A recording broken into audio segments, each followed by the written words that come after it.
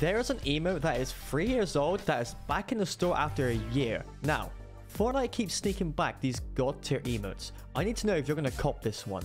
If you collect emotes or skins, you need this emote because it's rare.